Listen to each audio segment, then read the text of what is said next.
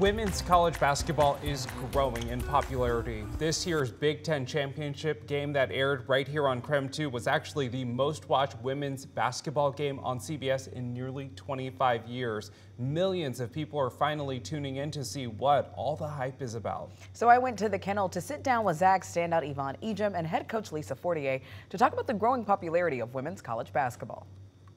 I feel like we've seen like a definite shift in kind of like the attention um, that we get just from women's uh, like college sports and women's college basketball. I feel like more people are talking about it, noticing it. What has it been like for you getting to play here in the kennel? Because it's kind of a, a legendary hub for college basketball. Oh yeah, it's definitely been a blessing to play in this environment with all these like supportive people and kind of the energy that we've received, especially this year, has just been phenomenal. Every single game we come to the kennel, like it's just a lot of high energy and a lot of hype. The women's team has a huge legacy here. It has produced so many outstanding players.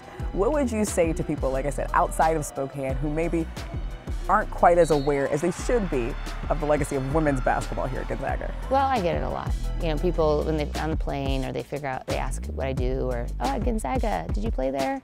Uh, or whatever. And uh, their, bas their basketball team is really good. How the, how's the women's team? And it's uh, luckily, I'm usually really gracious and like we're pretty good too, actually. Is there something that changes in how you play and how you practice and even how you gear up for games this time of year? Yeah, I think if anything, it's a lot of like fine tuning right now um, and just working on the details that we need to work on just because we've been flowing so well as a team right now that it's like we can just clean up a little bit of stuff and then just staying consistent to whatever our topic or our goal at the beginning of the season was. And I feel like for us that's been consistency and also being uncomfortable or comfortable in uncomfortable situations um, and just continuing to hold that to a high standard.